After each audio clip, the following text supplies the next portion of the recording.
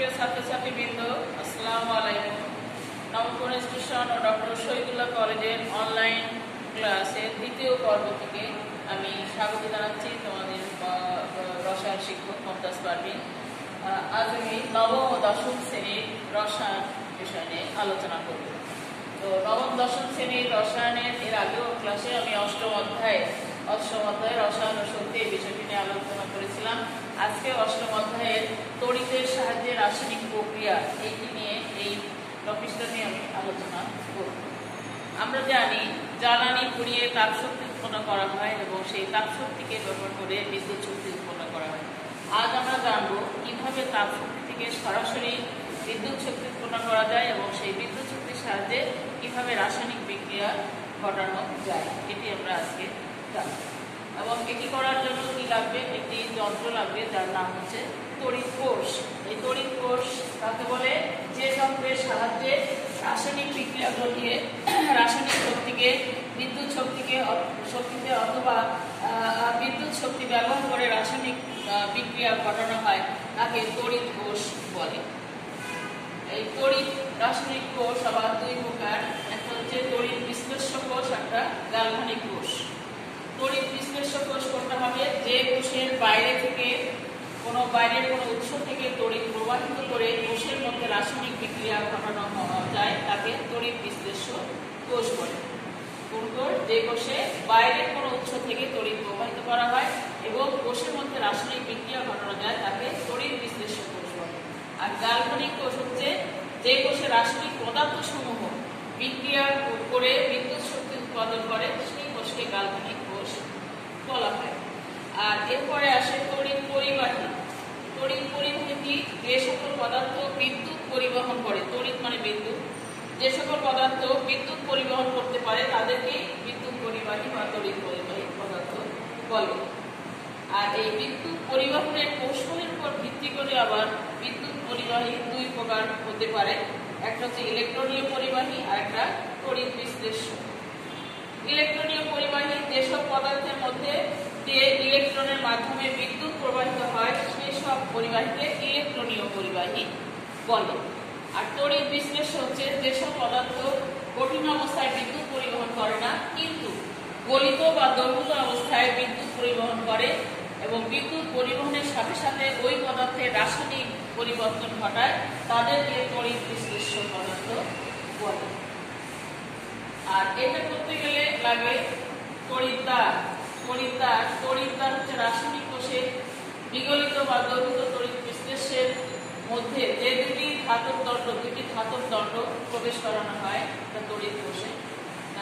সেই দুটি ধাতব দণ্ডকে বলা হয় তড়িৎদ্বার একটা রাসায়নিক কোষ তৈরি করতে গেলে তার মধ্যে দ্রবীভূত পদার্থ থাকবে এবং তার মধ্যে দুটি দণ্ড, ধাতব দণ্ড বসানো থাকে। যার মাধ্যমে হয়, এই দুটি দণ্ডকে বলা হয় তড়িৎদ্বার। তড়িৎ রাসায়নিক কোষে একটি পরমাণু বা আয়ন, ইলেকট্রন ত্যাগ করে, অর্থাৎ এই তড়িৎদ্বারে জারণ বিক্রিয়া ঘটে। ইলেকট্রন ত্যাগ করলে আমরা জানি? সেটা জারণ বিক্রিয়া। একদিকে জারণ বিক্রিয়া ঘটে, আবার অন্য তড়িৎদ্বার থেকে ধনাত্মক আয়ন কি করে? ইলেকট্রন গ্রহণ করে। আর ইলেকট্রন গ্রহণ করা মানেই বিজারণ বিক্রিয়া। তাহলে সেখানে কি হয়? ওই তড়িৎদ্বারে বিজারণ বিক্রিয়া ঘটে। যে তড়িৎদ্বারে জারণ বিক্রিয়া ঘটে, তাকে আমরা কি বলি? অ্যানোড তাকে আমরা অ্যানোড বলি এবং যে তড়িৎদ্বারে বিজারণ বিক্রিয়া ঘটে, তাকে ক্যাথোড বলা হয়।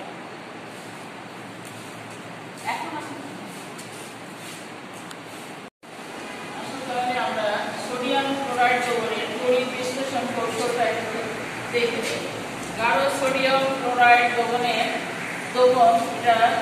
আয়নিত হয়ে থাকে একক থাকে না। দ্রবণ হয়, তখন সোডিয়াম আয়ন এবং ক্লোরাইড আয়ন এভাবে থাকে। Sodium, chloride, sodium ion, chloride ion. দ্রবণে, আর যখন দ্রবণ থাকবে, তখন এই দুটি আয়নের শুধু থাকে না, সেখানে পানি থাকে। পানি কিছুটা আয়নিত হয় হয়ে পানি হাইড্রোজেন আয়ন এবং হাইড্রোক্সিল আয়ন উৎপন্ন করে। এইখানে চিত্রে দেখো, এটি পরিতাশ্রিক কোষ, দেখো, এখানে দুটা এটা একটি পাত্র, যার মধ্যে সোডিয়াম, ক্লোরাইড দ্রবণ এখানে দেওয়া হচ্ছে, আর এখানে দুটা কি তড়িৎদ্বার একটা অ্যানোড একটা ক্যাথোড এখানে দেওয়া এখন এই সোডিয়াম এখন এখানে ব্যাটারি সংযোগ করে দিলে এখানে বিদ্যুৎ সংযোগ হতে থাকবে। দিলে কি হবে?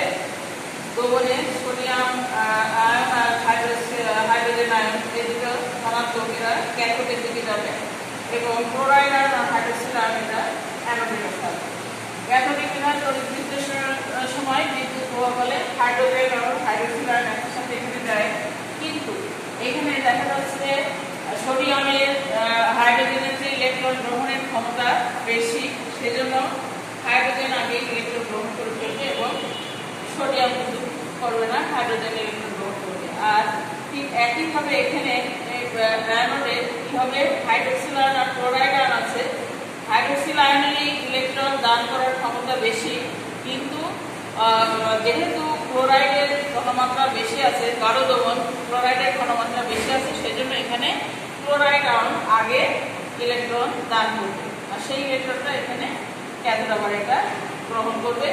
করার ফলে এখানে ক্লোরিন এখানে ক্যাথোডে কি বিক্রিয়া হবে। ক্যাথোডে হাইড্রোজেন ইলেকট্রন গ্রহণ করে হাইড্রোজেন পরমাণুতে পরিণত হবে। দুটা পরমাণু একত্রিত হয়ে হাইড্রোজেন অণু হবে। হাইড্রোজেন অণু হয়ে এখানে হাইড্রোজেন গ্যাস হয়ে বের হয়ে যাবে। আর অ্যানোডে একই সাথে এখানে কি হচ্ছে ক্লোরাইড আয়ন ইলেকট্রন দান করছে, হাইড্রোক্সিল আয়ন কিন্তু পারছে না যেহেতু এর ঘনত্ব বেশি। সেই জন্য ক্লোরাইড আয়ন কি করে? ইলেকট্রন দান করছে আগে, দান করে সে ক্লোরিন পরমাণুতে পরিণত হয় দুটা ক্লোরিন পরমাণু একত্রিত হয়ে ক্লোরিন গ্যাস এটা ক্লোরিন গ্যাস হিসেবে এখানে বের হয়ে যাচ্ছে। আর দ্রবণে থাকে কি? তখন থাকে হাইড্রোক্সিল আয়ন আর সোডিয়াম আয়ন। এরা তখন একত্রিত হয়ে সোডিয়াম হাইড্রোক্সাইড আর দ্রবণ হয়ে পাত্রে জমা থাকে নিচ থেকে এখানে বের করে নেওয়া হয়। এইভাবে সোডিয়াম ক্লোরাইডের তড়িৎ বিশ্লেষণ করা হয়, সোডিয়াম ক্লোরাইড। এখন তোমরা বাড়ির কাজ আমি একটি দিয়ে দিই তোমাদের। বাড়ির কাজ। ইলেকট্রোপ্লেটিং কি? ইলেকট্রোপ্লেটিং কি? দুই নম্বর হচ্ছে লোহার তৈরি কোনো জিনিসের উপরে সিলভারের প্রলেপ দেওয়ার কৌশল চিত্র সহ আলোচনা করো। এটা বাড়ির কাজ হিসেবে তোমাদের দিয়ে দিলাম। তোমরা এটা ভালো করে এটা করে ভালো করে এটা করবে এবং এই অধ্যায়ে এই অধ্যায় থেকে যত তোমাদের সংজ্ঞা আছে আছে বা এই কৌশলের এটার ব্যবহার, এগুলো সবগুলো কিন্তু ভালো করে করবে এগুলোর প্রয়োগ ভালো করে করবে? তাহলে আজ এ পর্যন্তই। আগামী ক্লাসে আবার দেখা হবে। আমাদের অন্য ক্লাস নিয়ে। আল্লাহ হাফেজ। ভালো থেকে সবাই। অনলাইন ক্লাসে থাকে।